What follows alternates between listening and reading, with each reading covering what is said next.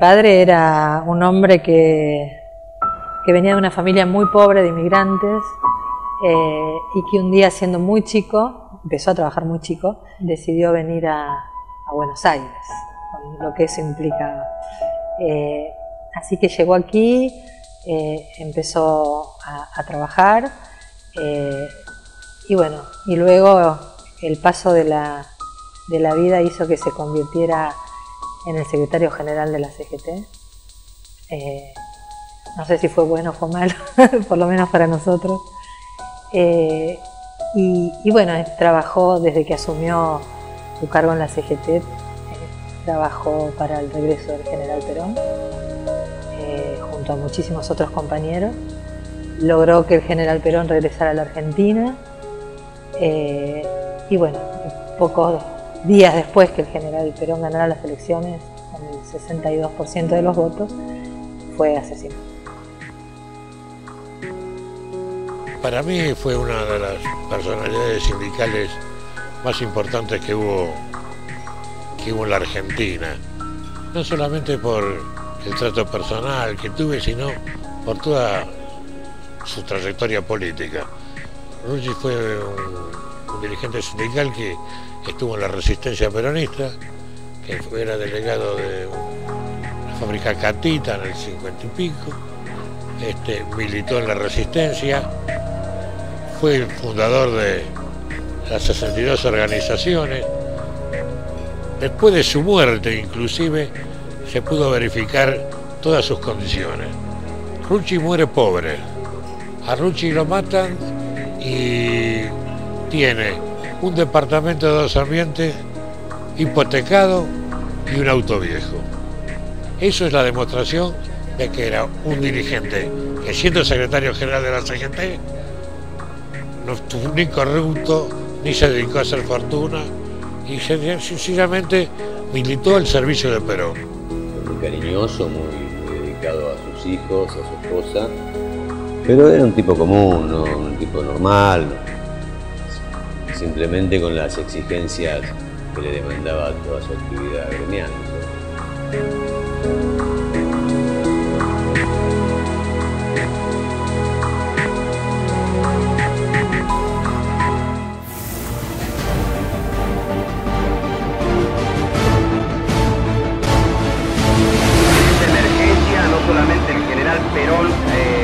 Señalado la necesidad de la unificación del movimiento obrero en torno de la central obrera, cuya secretaría general la ejerzo, sino que incluso esos compañeros de Córdoba han sido portadores de una carta manuscrita.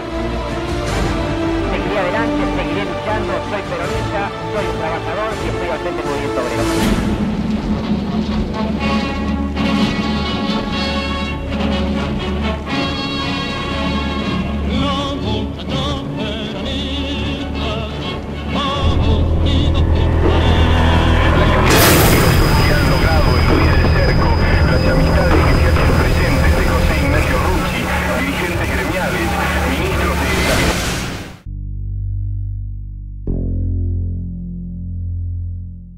Tuvo un origen eh, popular, un origen simpático para el peronismo. y que se encuentra en el centro de la de un escenario político muy convulsionado y vertiginoso. Y ellos están van tratando de adaptarse a esa situación que los tiene como protagonistas, pero que no eran las personas más más preparadas para hacerlo, digamos.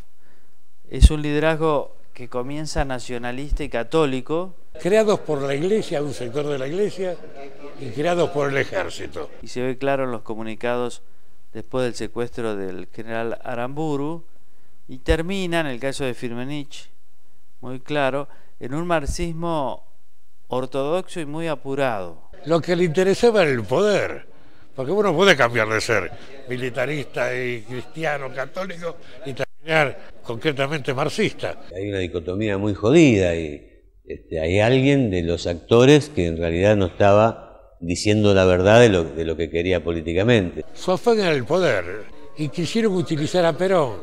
Fue una alternativa que arrastraron a la juventud, la engañaron Después de la ruptura de Perón con los montoneros en la plaza, desaparecieron los montoneros como organización masiva.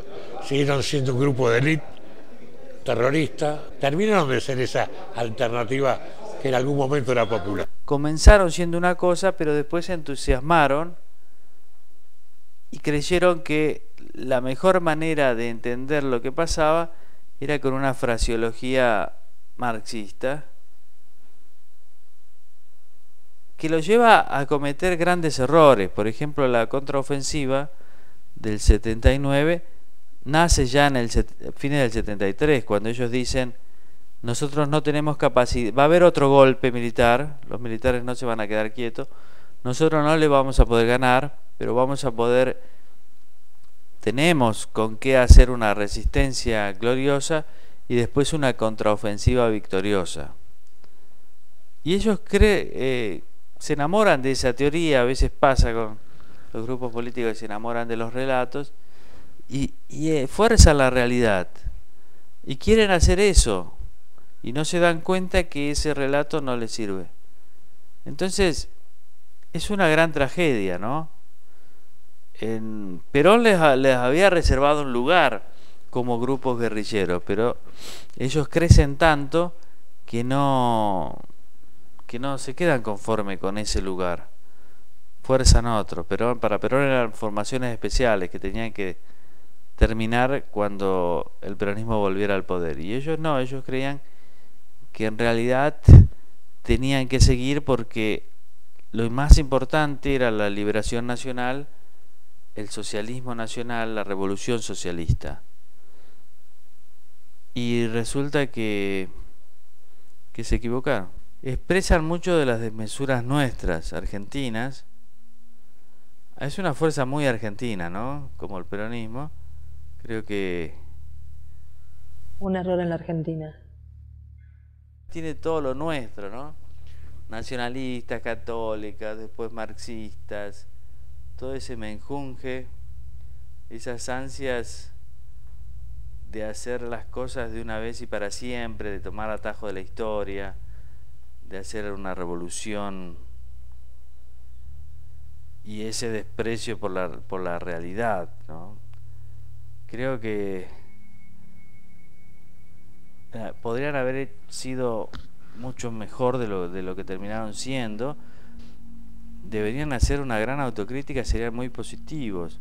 Terminó siendo una cosa muy mala para la Argentina. Al principio creo que emprendieron una, una acción como jóvenes, después creo que, su concepción ideológica, sobre todo la cúpula rayana a lo gorila, muy rayana a lo gorila, este, fue desvirtuando su accionar. Creo que su mayor equivocación fue eh, no saber nada de política. Terminaron de destruir al general Perón, eh, creyendo ellos que podían eh, enseñarle a Perón lo que era ser peronismo. La Montonero fue un paso de la historia, mejor olvidarlo que, que recordarlo, ni siquiera vale la pena analizarlo. El movimiento obrero argentino no está dispuesto a ser simple testigo de los acontecimientos y va a pasar a ser el gran protagonista de todos aquellos acontecimientos que en los sentimientos del pueblo. Estaba muy poco con nosotros en realidad, porque él prácticamente vivía en la CGT, él se había armado un departamentito que hoy sigue existiendo en el sexto piso y, venía muy poco a casa, entonces nosotros íbamos mucho a visitarlo a la CGT. Eh, pero como papá que seguramente sentía que estaba poco tiempo, ese poco tiempo era absolutamente permisivo y discutía con mi madre porque nos daba todos los gustos cuando venía, obviamente, lo que hace uno con sus hijos cuando está poco. Como persona era permanente la, posición de él, y te digo que en eso se ocupaba de, que yo esté seguro, de que no, esté arrastrado por ningún atentado, era, era cuidadoso de sus amigos. Y era un tipo muy, muy cariñoso y muy, muy afectivo, muy... Eh, cuando digo afectivo digo muy de, tocar, de abrazar, de besar y de decir te quiero, que en esa época los padres este, no decían tanto te quiero. Yo, yo esto me di cuenta con el paso de los años, ¿no? Este, él, él lo decía y mostraba su, su admiración. Era un tipo muy sensible, mi padre. Yo lo, lo veía llorar mirando una película. Este, la primera vez que me vio en televisión, me acuerdo, yo era actriz en ese momento. Eh, la primera vez que me vio en televisión, caían las lágrimas. O sea, era un hombre muy fuerte, eh, pero también muy, con mucha sensibilidad. Y en lo político, yo te- tengo un hecho que- lo pinta cabalmente como era, era del Perón. Y ya el peronismo, ya Perón había vuelto, el peronismo ya lo había elegido al general como candidato a presidente, faltaba elegir al vicepresidente, y el diario La Opinión, que el director era Timerman, saca un primera página grande, dice, eh, Ru- Rucci apoya a López Rega o Isabelita para vicepresidente y la juventud a Cámpora. Y sacan un artículo explicando. Yo llego al otro día, al día que sale el diario, a la CGT serían las 10, 10 y pico. Subo y me "Ey, ¿leíste el diario? ¿Viste lo que pusieron?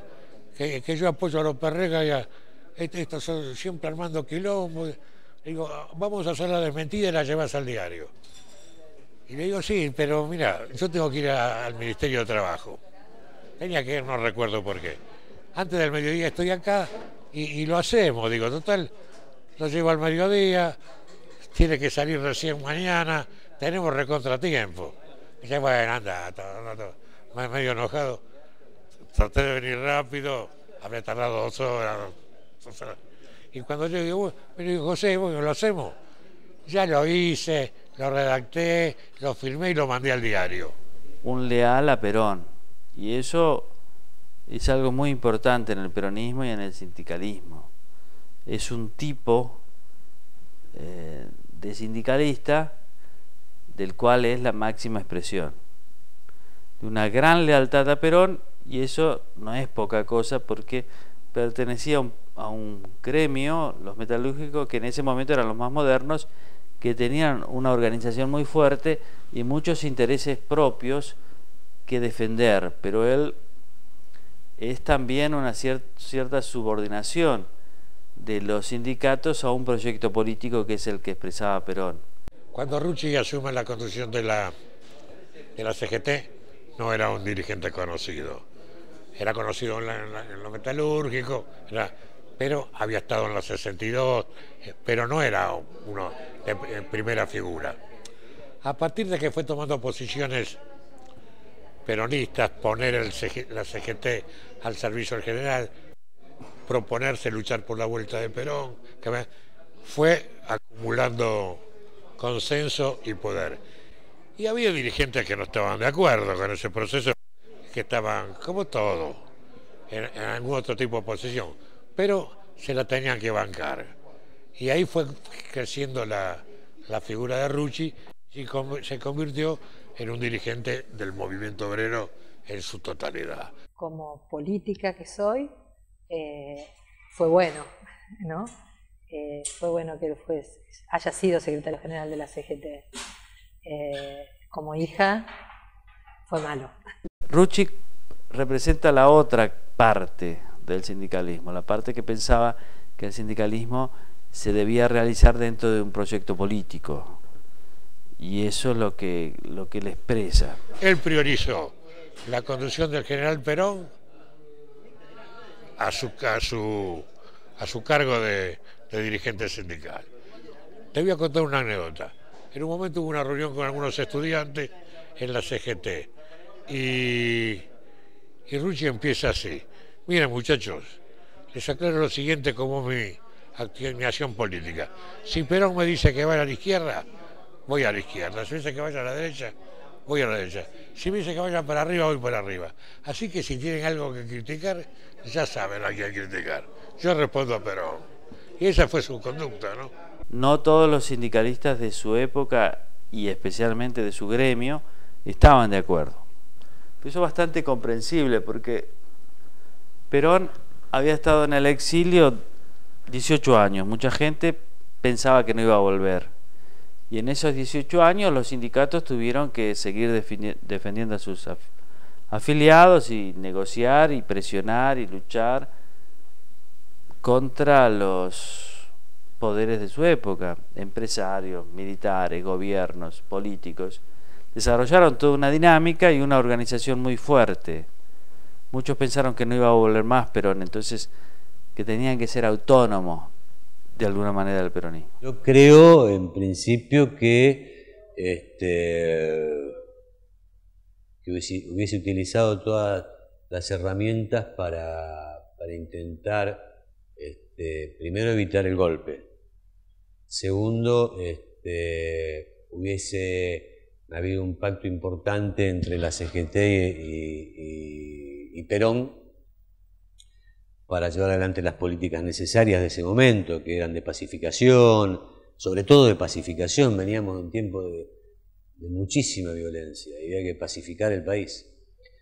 Y Perón lo, da a entender y lo muestra en su, abrazo con Balbín. Eh, creo que ese iba a ser un, papel fundamental y de contención al movimiento obrero, entendiendo que se necesitaba un tiempo prudencial después de tantos años de desequilibrio político, social, económico del país para recomponer la nación. Él firma el pacto social con los empresarios y el Estado el 8 de junio del 73 y él le comenta a los que firman con él, lo, lo contaba Cafiero, lo cuenta Leiva, Carlos Leiva, acá he firmado mi sentencia de muerte, porque él sabía que se estaba enfrentando también a quienes pensaban que el sindicalismo debía pedir mucho más de lo que recibía, por un lado, y a los otros que, como montoneros, pensaban que no había ningún lugar para la conciliación de clases, sino para la lucha de clases. Y el pacto social fue eso también, fue un principio de eso, mal entendido por algunos, este, creyéndose que, que, el pacto social era arreglar con los grupos económicos. No, eso fue un orden de General Perón. Eh, y mi viejo sabía que le iba a costar mucho eh, la firma de ese pacto social. Pero como él era un hombre de Perón, lo hizo y, lo tuvo que hacer y, lo hizo. Entonces, dentro del, del sindicalismo expresa esa concepción que te decía. Fuera del sindicalismo expresa el peronismo tradicional, ortodoxo, que está basado en la conciliación de clases. Hay un Estado fuerte que orienta la economía, están los empresarios, están los sindicatos, y ellos tienen que, claro, hay presiones entre ellos y hay negociación, pero no hay una lucha entre clases. O sea, no, no, no, no son de izquierda clásica, ni no clásica, sino que son la conciliación, que es una tercera posición en el campo social, que es donde y político donde se mueven los sindicatos, esto es una clara diferenciación eh, frente a Montoneros.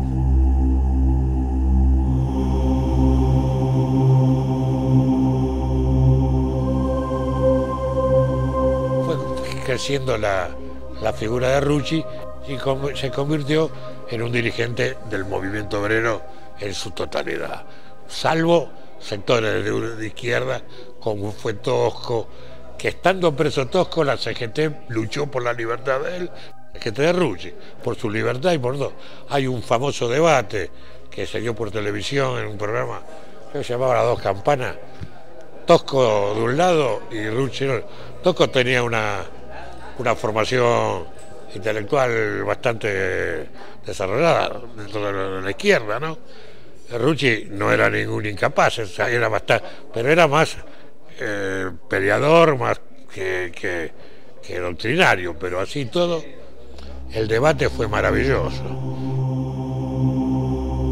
Perón, todo indica, no confiaba mucho en otros dirigentes sindicales.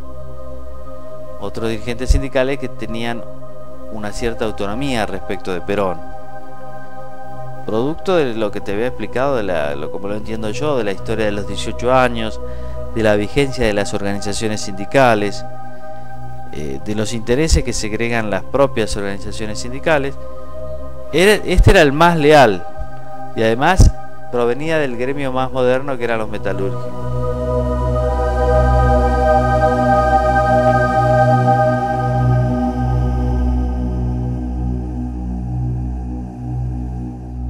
Yo fui a, cuando fue el lamentable episodio de Seiza, este, yo fui con mi vieja, con mi hermana y con mi tío que manejaba el auto y pasamos por el medio de toda la manifestación porque tuvimos la suerte de justo pasar una ambulancia y nos metimos atrás de la ambulancia y llegamos a Seiza.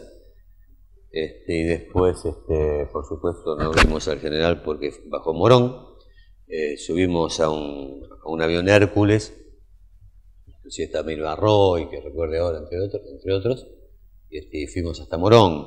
Eh, en, ese en ese retorno estuve.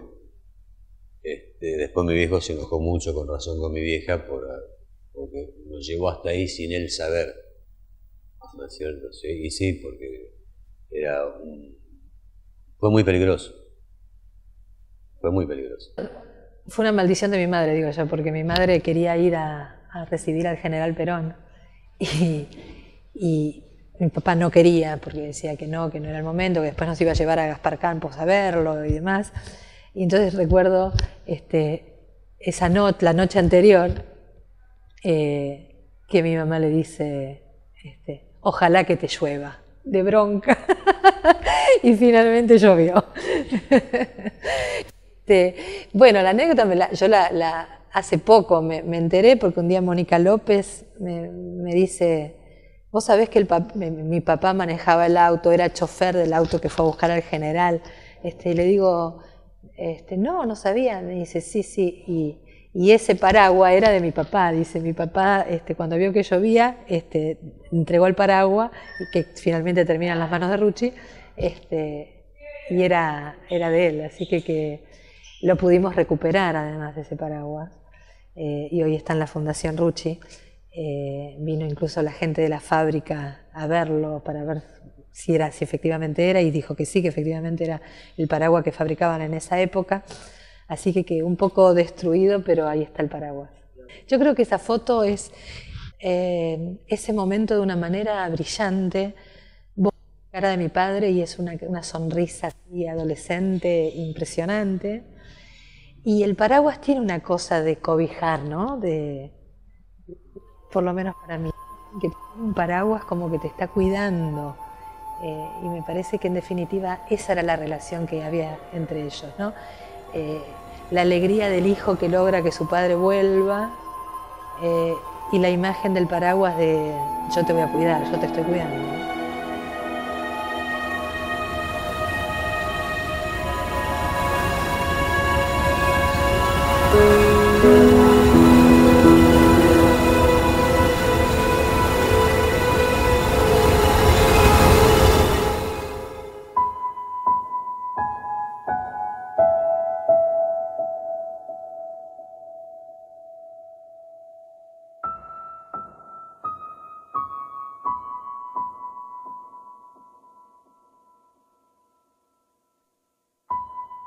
Ese día yo fui un, temprano a la casa porque teníamos que ir a grabar el, mensaje de la CGT con motivo del triunfo de Perón. De ese día recuerdo eh, que veníamos del colegio con mi hermano. Doce y pico, más o menos, sería una cosa así. Llegué a la casa, estuve con la señora, con él. verdad que yo tenía 14, mi hermana 9 años. Alrededor del mediodía llegan los muchachos de la CGT a buscarlo para llevarlo a grabar el mensaje que se iba a hacer en un canal de televisión. Nosotros estudiábamos en el Colegio Almirante Brown de Aedo y estábamos viviendo en Flores. Y cuando estábamos saliendo suena el teléfono y la señora dice, te llaman y creo que era Lorenzo Miguel. En realidad nos mudábamos cada tres o cuatro meses todo el tiempo, esta era la casa de un amigo. Le digo a los muchachos, vamos a tal lado, síganme, y al ratito que sale él atrás mío, yo estaba el coche adelante, al entrar al auto donde iba a ir. Yo vi mucha gente en la esquina de la, de la casa, que era Avellaneda y Nazca. Abro la puerta, voy corriendo. Me dijo no se bajen del auto. De donde yo bajo había 40 metros, 50 metros hasta el lugar de mi casa. Y este, bueno, y veo el cuerpo tirado en el piso. Nos dijo que había habido un accidente, que no podíamos pasar con el auto, que íbamos a ir a la casa de matrimonio amigo de mis, de mis padres que vivía muy cerquita. Vuelvo al auto, Y así que fuimos ahí y a almorzar. mi hermana no sabía nada, yo no le dije nada, se entera porque había una televisión prendida de forma equivocada. Había un televisor que estaba en la cocina siempre, que ese día no estaba en la cocina, lo había llevado al living. Y yo empecé a sospechar algo y, y me fui al baño, que estaba en un hall de distribución, y abrí la puerta del living. Y justo cuando abro la puerta del living veo la- una placa que dice asesinaron a Ruchi. Y lo veo por televisión. Me puse a llorar, eh, luego me llevaron a mi casa. Hay un bache ahí que no, que no recuerdo. Lo, lo- lo último que recuerdo es este, entrando a mi casa eh, y viendo a mi madre en la cama, rodeada de sus amigos. eh, eso.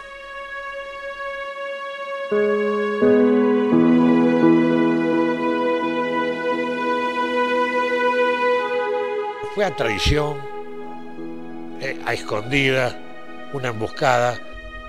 Fue una época dura, la verdad, este, para, para, para todos nosotros. Todo, todo a traición, todo miserablemente calculado. Esa, no, no dieron la cara, nunca se enfrentaron.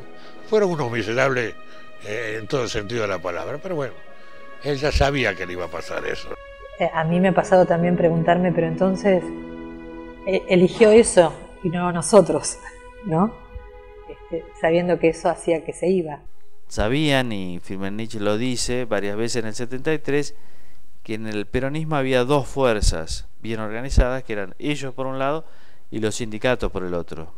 O sea que sus grandes adversarios internos eran los sindicatos. Pero ellos consideraban que con algunos líderes sindicales podían arreglar, acordar. Estoy convencido que, que toda su lucha, no solo en la CGT, sino ya desde antes, desde mucho antes, era eh, el retorno del Canal a la Argentina y cumplió con ese objetivo y creo que no se lo perdonaron.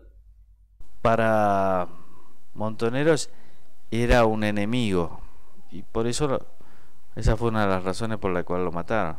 Él ya sabía que le iba a pasar eso. ¿eh? Sabía o lo, o lo- o lo presentía. Más te voy a decir. Ese día, en un momento que quedamos solos, la señora se va, no sé, a hacer un café y yo le digo, mira, José, ayer cuando salimos de la, CGT, cuando vos te habías, te, ibas te habías ido, ido para tu casa, salimos con Giannini, que era otro muchacho que trabajaba con él, íbamos caminando porque él vivía acá en la 9 de julio. Este, y pasó un auto y tiró dos tiros, supongo que al aire. Pero, este, así que está bien que los muchachos nos acompañen, que sirven para, para la defensa y todo. Pero la custodia en sí, el lugar de seguridad, donde la tenés que hacer con profesionales. Vamos a dársela a la policía. Y él le dijo, eso vamos a hacerlo después que Perón sea presidente. Nada fue valiente, todo miserable y de cobarde. El departamento era de un primer piso. Y, le tiraron, digamos, de- del primer piso de la planta baja. Hicieron un, fuego cruzado. Pero parecía que hubieran tirado de enfrente. Yo después, cuando hicieron los detalles y todo el atentado, pregunté por qué pareció que habían tirado. Entonces me explicó, hay un policía que como habían tirado, rebota el sonido. Entonces la impresión era que había venido a la vereda de enfrente. Entonces, se, se ocupó la vereda de enfrente y los asesinos salieron por atrás de la, misma casa. Fue un bien estudiado el atentado, ¿no? En realidad, nunca me contaron la historia. Eh, en realidad, el hecho sucedió yo tenía nueve años y, no entendía nada. Esta, es la realidad. No, entendía cómo, cómo esto podía suceder. Yo siempre digo que la historia de mi padre la fui armando sola, eh, con, con, los compañeros que se acercaban y me iban contando y me iban diciendo lo que habían compartido con mi padre, lo que había hecho mi padre, eh, leyendo sus discursos o sus escritos. Eh, mi padre era un hombre que, que escribía mucho. Y así fui como, como armando la historia.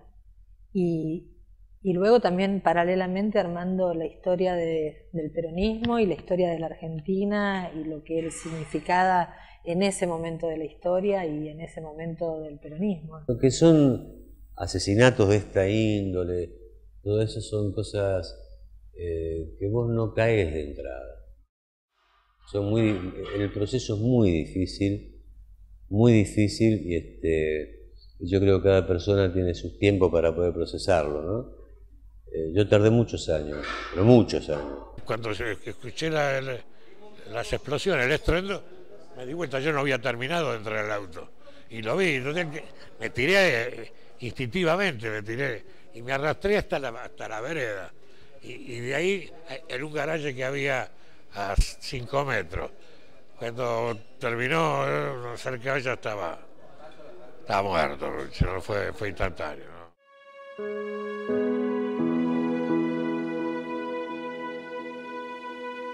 Domingo Perón es el líder de la Argentina y el líder de Latinoamérica, después de 40 años muerto, teniendo vigencia cada vez más. El que no es peronista tiene una pata peronista, un brazo peronista, una oreja peronista, si no, no son nada. Tiene que tener algo de peronista. Fue este el, el hombre de la Argentina, pero sin duda alguna, y el día de hoy lo demuestra, así que aunque nos quieran destrozar este, políticamente, el peronismo continúa siendo, siendo el principal movimiento de Argentina, ¿no es cierto? Ojalá viviera. El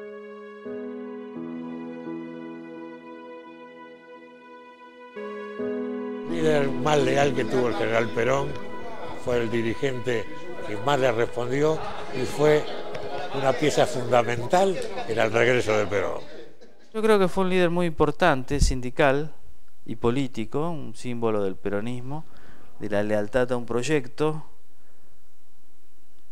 y no solo a un proyecto, sino a la gente, a los sectores populares que están detrás de ese proyecto. Y tiene algo que lo destaca, que es la forma en que murió. O sea, pudiendo haber evitado la muerte, porque hasta el propio Perón lo quería mandar lejos y él se quiso quedar acá. Yo creo que uno, a veces los líderes trascienden no por lo que son, sino por lo que representan, ¿no? Y el tipo representa muchas cosas de lo mejor del peronismo y de lo mejor del sindicalismo. Y el ser que me guía, aún hoy, aún hoy en los momentos más eh, alegres o tristes de mi vida, eh, en los importantes, siempre está. Un hombre que, que luchó, un hombre leal a una causa, sobre todo a, leal a él, pero que a veces es más importante ser leal a uno que después viene el otro, que, este, que creo que terminó dando su vida sabiendo que, le iba a costar la vida todo lo que estaba haciendo, lo sabía, este, no, no, frenó en su accionar y creo que, fue un héroe.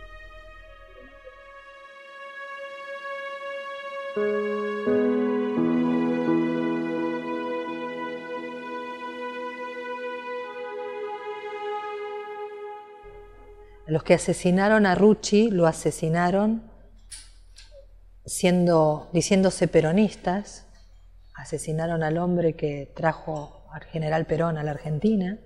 Perón venía a, desarrollar el país, a volver a la justicia social, a lograr mayores eh, conquistas para los trabajadores y tenía que estar pacificando. Y, murió, y la prueba está que murió enseguida. Lo que venía a ser Perón no lo pudo hacer después de la muerte de Rucci. Me parece que era un, luch- un luchador que estaba convencido de que Perón y el peronismo expresaban el, el mejor proyecto para la Argentina. No, el recuerdo, eh, eh, más que nada quedan enseñanzas. Enseñanzas de, de- de- de quienes no- nos seguimos dedicando a la, a la cuestión política, este, ciertos parámetros que uno eh, le ha quedado grabado eh, y no debe correrse de ese lugar. Hay dos fundamentales. Uno es que la lucha es por un ideal y no por una conveniencia personal.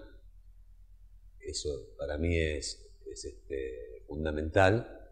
Y el tema de la lealtad a los principios de uno. Fue muy duro el proceso que hubo que hacer para poder perdonar también y seguir viviendo, Y, tratar de, sacar lo positivo de esto que nos sucedió eh, para poder educar a, a nuestros hijos desde el amor y no desde el resentimiento. Yo no, no podría este, entender que a, a casi 41 años eh, exista un odio. Creo que es tiempo suficiente como para que hayan meditado cada uno sus, sus errores y sus aciertos. Su gloria es la vida que vivió. Yo ya perdoné. No me olvido, pero no- yo no podría vivir con, con- no podría vivir con el odio. Me enfermaría, me haría muy mal. No concibo otra manera de, de, de transitar la vida, sino... No, yo ya perdoné. Yo perdoné, yo no quiero revancha, no quiero venganza, no quiero nada, nada que este, que produzca un daño a terceros. Yo lo que quiero es que se haga justicia, nada más. Y quienes fueron los culpables, entiendo que tienen que estar presos. Punto, nada más que eso. Siempre las figuras tan importantes eh, están rodeadas de gente que no todos son leales. y, y muchos lo que hacen es leerle el diario de Irigoyen, aquel, ¿no? al líder. A mí me pasa que quiero que lo digan públicamente. Me encantaría que rompan este discurso y que puedan hablarle al- a los argentinos con una dosis de arrepentimiento porque creo que nos haría muy bien a todos los argentinos. A todos los argentinos, que le haría muy bien al peronismo y que le haría muy bien a la familia Rucci, por supuesto.